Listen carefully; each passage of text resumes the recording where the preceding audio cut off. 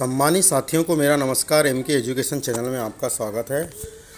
आइए साथियों, लोक शिक्षण संचालय मध्य प्रदेश के एक महत्वपूर्ण आदेश का अवलोकन करते हैं। यह आदेश 18 दस 2021 को जारी हुआ है।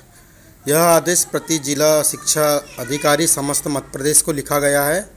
विषय है उच्च माध्यमिक शिक्षक एवं माध्यमिक शिक्षक पद पर नवनियुक्त अभ्यर्थियों को पदस्थापना स्थल पर दिनांक 30 दस 2021 तक कार्यभार ग्रहण कराए जाने के संबंध में। आइए इस पत्र के मुख्य भाग का अवलोकन करते हैं। उच्च माध्यमिक शिक्षक एवं माध्यमिक शिक्षक के पद पर दिनांक 6 दस 2021 एवं 11 दस 2021 को नियुक्ति आदेश जारी किए गए हैं, जिनमें अभ्यर्थियों को 15 दिवस में पदस्थापना स्थल पर उपस्थिति देने के निर्देश हैं।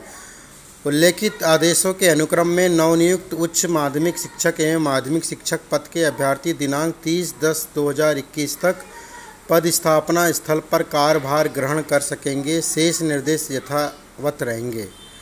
तो ये था एक हमारे नवीन उच्च माध्यमिक शिक्षक एवं नवीन माध्यमिक शिक्षक के लिए एक महत्वपूर्ण आदेश। साथियों, अगर अभी तक आपने मेरे एजुकेशन चैनल को सब्सक्राइब नहीं किया है तो आप इसे सब्सक्राइब कर लीजिए ताकि एजुकेशन विभाग की समस्त जानकारियाँ आप तक पहुँचती रहेंगी। धन्यवाद।